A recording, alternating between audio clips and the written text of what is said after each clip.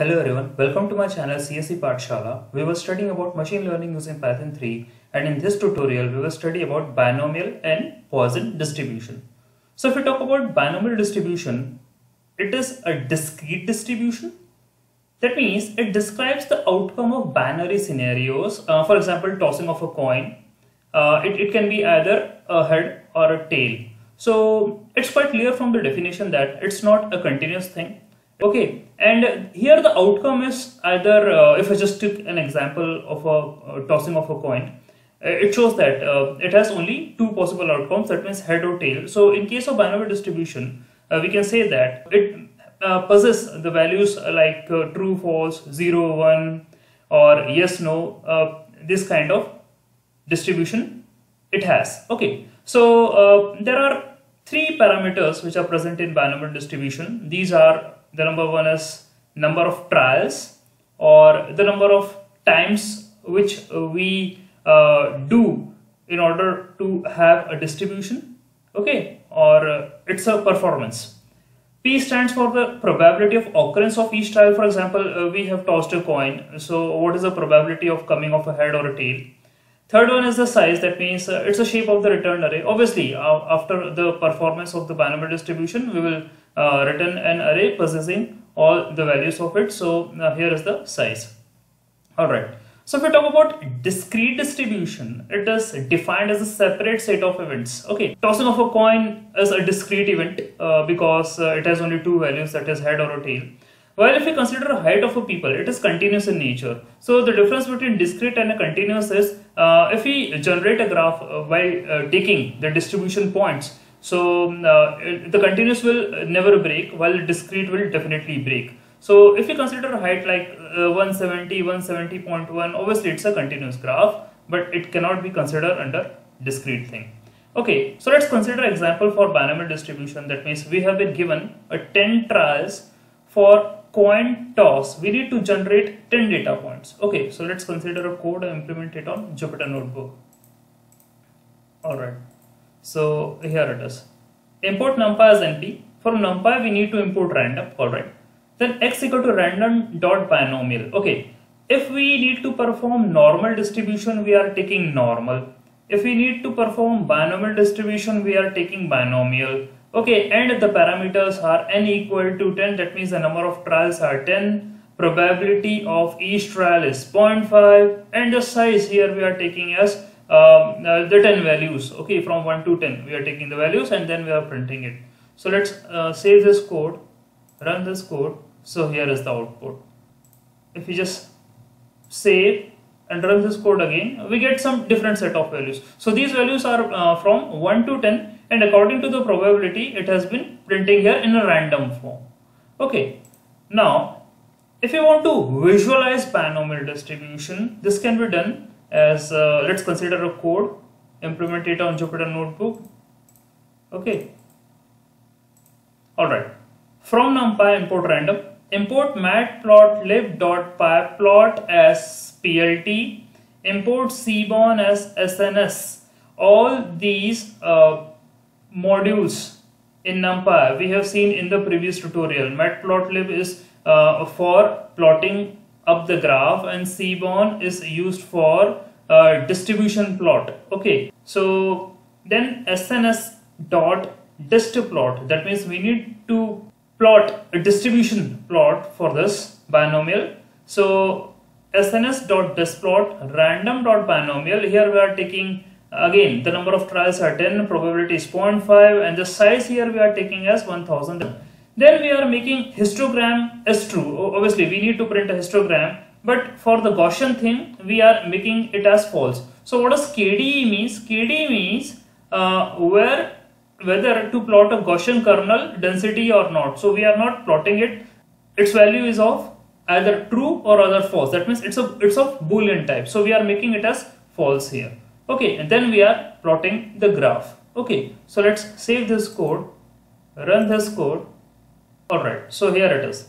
Here is the binomial distribution okay and uh, we have plotted the histogram for uh, the respective values which we will uh, get here. That means uh, here we are having from 1 to 9 uh, we have been uh, present values. And these are the number of times these values will be printed. So the total will come up to be as 1000 all right now if we talk about difference between normal and binomial uh, distribution is so the main difference is obviously uh, normal distribution is continuous nature while uh, binomial distribution is discrete in nature. But if there are enough data points which are available in binomial distribution, we can make a compatible or similar graph of binomial distribution to the normal distribution where uh, the certain LOC and uh, for a certain LOC that means the mean and scale that is the standard deviation. Okay, we can consider such kind of values. So we can have a similar kind of graph for both of these. So let's consider an example and check. Okay, so here it is. Alright. So import numpy as np. From numpy import random. Import matplotlib.pyplot as plt. Import seaborn as sns. Okay. Now we will first plot the normal distribution. Then we will plot the binomial distribution and we will be having a comparison of both of them. Okay. So here it is. sns dot dist plot random dot normal okay here we are taking the mean value that is LOC is 50 scale that is the standard deviation we are taking here as 5 and the size that means for 1000 values okay here we are again making histogram as false but we are labeling this uh, graph with normal. Okay. Now again in the next line sns dot dist plot that is the distribution plot random dot binomial distribution here we are taking n equal to 100 that means we are taking 100 values or the 100 trials. The probability of each trial is uh, 0.5 and uh, again we are taking the size as 1000 that means for the 1000 values. Okay. Here again we are making histogram as false and we are labeling the graph with the binomial and then we are showing this plot with plt dot show so let's save this code run this code okay so here it is Please ignore the warning because uh, warning is coming because of the dist uh, plot. Okay, so here is our output exactly what which we want to see. So it's quite clear that if we talk about these certain values which we have taken in the above program, uh, it happens that both normal and binomial distribution are coming to be somewhat similar. Okay, for uh, the values of mean and standard deviation that means we have taken here 50 and 5 and for the binomial we have taken the trials as 100 and probability is 0.5 for the same size of both of them it's coming to be compatible or somehow what same. All right so that's about binomial distribution. Now we will study about Poisson's distribution. See Poisson's distribution is also a discrete distribution but it estimates how many times an event occur in a specified time. Okay we have been given a specified times and we need to calculate or find out how many times this particular event has been occurred. Uh, for example uh, if someone eats twice a day so what is the probability that he will eat thrice a day the parameters which are used in Poisson's distribution is uh, LAM that means the rate or uh, known number of occurrences okay and the size obviously uh, which will return in the form of an array okay so let's consider an example and then we will understand how Poisson distribution work. Okay, so here it is. Alright, so import numpy as np from numpy import random x equal to random dot Poisson uh, lam equal to 2 and we are taking here the size is 10. So lam that means we are taking the known number of occurrences or the rate or the frequency uh, with which a particular event is uh, being occurring. Okay so it's uh, 2 here. And for uh, the size that means for the 10 values we are performing this operation and then we are printing it. So let's save this code run this code. So here it is. So we got these certain values okay again if we save this code run this code we get another set of values okay because it's a random thing. All right. Now, if you want to visualize Poisson's distribution, it can be done like, uh, let's consider a code and then implement it here. Alright, so import numpy as np, from numpy import random, import matplotlib.pyplot as plt, import seaborn as sns. So we should remember all uh, these uh, modules before performing any task on distribution. We need to import NumPy. From NumPy, we need to import random. Then we need to import matplotlib uh, for uh, the drawing of the graph, for plotting of the graph. And seaborn is for the distribution plot. Okay. So now sns.displot random.poisson. Okay. So uh, in the above programs for the binomial distribution, we took random.binomial. For normal distribution, we took random.normal. Uh, okay. And for Poisson distribution, we will take random.poisson. So sns.displot random.poisson lam equal to 2 that means the frequency or the occurrence of a particular event is 2 here and the size is 1000 and we are making false the Gaussian value okay so and then we are plotting it so let's save this code and run this code. So here it is. This is the Poisson's distribution. Okay. And obviously if we sum up all these values it will come up to be uh, 1000 that is respectively for uh, zeros and twos and four and six. Okay. What are the values which are being uh, coming here in Poisson's distribution? All right now if we talk about the difference between normal and Poisson's distribution uh, since uh, normal distribution is a continuous uh, distribution while Poisson's is a discrete distribution this is one of the basic difference. But if we take larger values for the Poisson's distribution uh, as we did for the binomial distribution we did consider some values uh, there some compatible values there. So here also Poisson's distribution can become similar to normal distribution with certain standard deviation and the mean. Okay so let's consider a code and then we will understand uh, how it can be made compatible. All right so here it is.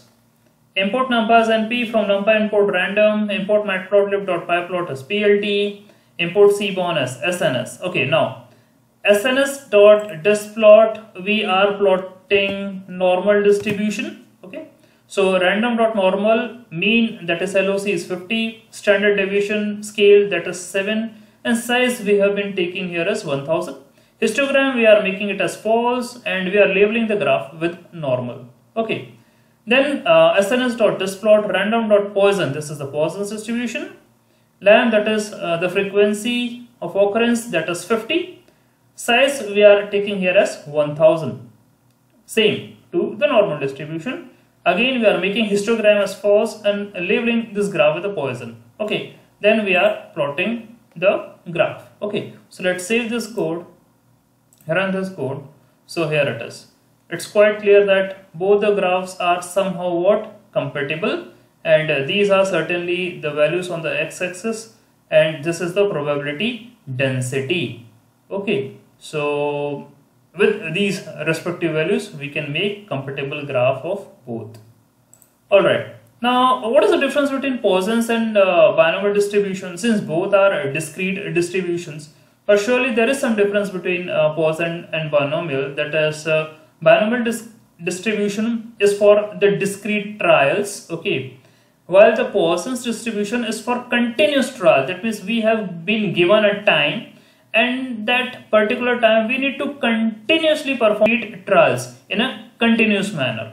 Okay so this is called as Poisson's distribution. So uh, but for the larger values of n um, near 0 p binomial distribution is nearly identical to the Poisson's distribution. Because in, in such case n star p is nearly equal to the lam or the frequency. Okay, so if we take the larger value of n and uh, nearly zero value of p and the product will somehow what come to be equal uh, to lam. So let's consider a code and then we will understand uh, how to perform these Alright, so here it is. Import numpy as np from numpy import random, import matplotlib.pyplot as plt, import seaborn as sns, sns.displot. Here uh, we are plotting binomial distribution. So we are taking n as 1000, that means larger value of n.